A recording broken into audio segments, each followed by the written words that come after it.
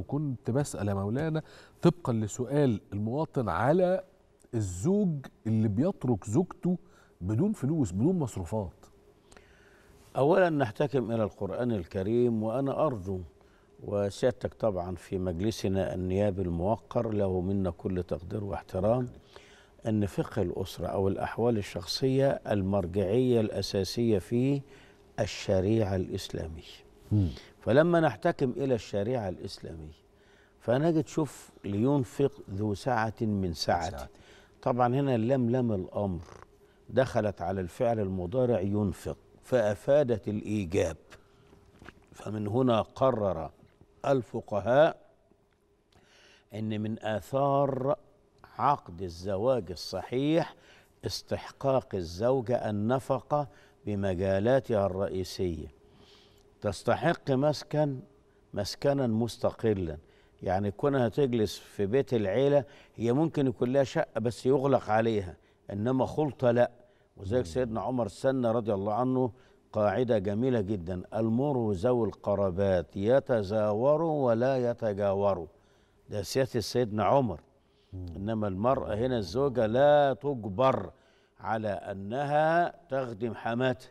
ولا تجبر على أنها تعيش في خلطة مع أصهارها.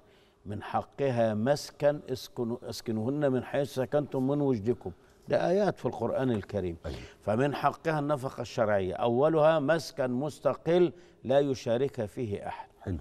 إحنا ممكن زي ما قلت لك في بيت عيلة بس شقة مستقلة لزوجها مقفول عليها بابها. فقط ومقفول عليها الباب. الأمر الثاني المأكل. والمشرب والملبس ويلحق بها الآن العلاج.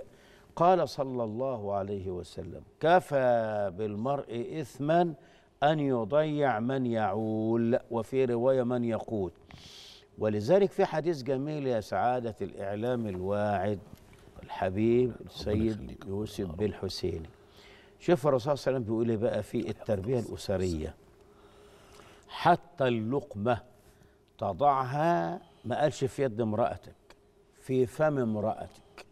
هل تجد رومانسية أسرية زوجية الجمال ده. أجمل من هذا إيه التعبير؟ الأخاذ؟ فسيدنا النبي يقول إيه؟ حتى. اللقمة لقمة. ما قالش تضعها في يدها؟ لا آه. قال أو في صحنها. سليم؟ قال حتى اللقمة تضعها في فم زوجتك. بتغسلها وجدانيا وتحييها شعوريا. وتقدم لها أجمل ما في الحياة من مشاعر فمن هنا بنقول حضرتك يجب على الزوج إلزاما أن ينفق على زوجته. أما أنه كما يفعل بعض الذين لا يفهمون الإسلام يروح مثلا مع شلة أصحابه ويأكلون في المطاعم والكافيهات وهنا وهنا ويتركون الزوجات على العيش أو الطعام الخشن هذه خيانة لله ورسوله. ونشوف بقى حضرتك بيوتات النبي صلى الله عليه وسلم. كان النبي صلى الله عليه وسلم يأكل مع أزواجه أمهات المؤمنين رضي الله عنهن أجمعين. أيا كان مستوى الطعام أيا كان مستوى الطعام وده من العشرة الطيبة التي أمرنا الله تعالى بها وعاشرهن بالمعروف. حلو جدا. نعم. طيب خليني يمكن في الدقيقتين اللي فاضلين دول نسأل بقى على بما إن إحنا بإذن الله سبحانه وتعالى مقبلين على عيد الأضحى كل سنه وحضرتك طيب؟ شروط الأضحية. شوف سيدي الأضحية تكون من الأنعام البقر والجاموس نوع الإبل نوع الغنم والماعز نوع. الإبل آه، في حدود خمس سنين ولا عبرة لنا بوزن اللحم. البقر والجاموس في حدود سنتين ولا عبرة لنا بوزن اللحم. الماعز سنة آه، فصاعدا. الغنم ستة أشهر فصاعدا. الفقهاء عملوا قاعدة جميلة جدا. قالوا أن تسلم الذبيحة مما يخل بالشحم واللحم والمنظر. يعني لو جينا كده بسرعة نشوف من المقدم لو تخيلنا ذبيحة أمامنا وليكن خروف يعني أو آه. شيء. أولا نبدأ من المقدم. ألا يكون مكسور ألا تكون مكسورة الأسنان ولا منتنة الفم وألا تكون عوراء ولا عمياء ولا مكسورة القرن. آه، ألا تكون عكفاء لما نأتي إلى المؤخر ألا تكون مقطوعة الذنب إلا إذا كانت من حيث الخلقة آه، لا يوجد لها زي آه مخلوقة كده. ذنب يعني.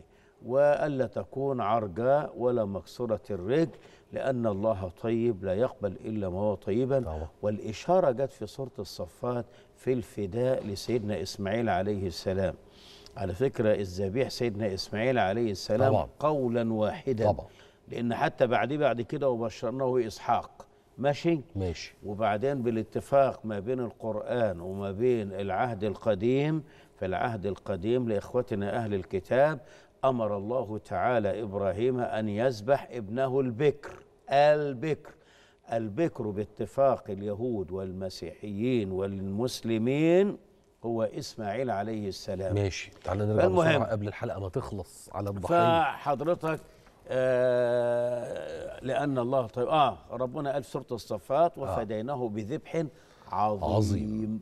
يبقى خالي من العيوب المخلة باللحم والشحم والمنظر لأن الله طيب لا يقبل إلا, إلا ما الطيب. هو طيبا ولا تغني مشاريع أو إنفاق عن الأضحية لأن في بعض الآراء الشاذة الغير مدروسة تقول ممكن يتبرع مش عارف لإيه ويعمل إيه كذا وبدل من الأضحية. لا. الأضحية من شعائر الإسلام فهي لا أضحية تقوم أو السكوك. مقام الأضحية لا الصكوك حضرتك آه إذا كانت في جهات مأمونة داخل. آه. مصر لا بكررها لأن في بعض السنوات المضت كانوا بيروجوا لذبح خارج مصر هذا خطر لأن هي تخلو البلاد والعباد من لأنها بتاعت بركة بقى مش عارف بنك. الطعام بتاعه الأزهر الشريف. بتاعه ال... لا أنا. بتكلم على الصكوك بتاعتنا داخل مصر آه خارج مصر لا لا لا يقول لك إن في دولة والأضحية بربع الثمن وهنذبح هناك وهنجيب بعد أسبوع هذا لا يجوز لا يجوز لا يجوز حتى لا تخضع على الشعائر في بلادنا الحبيبة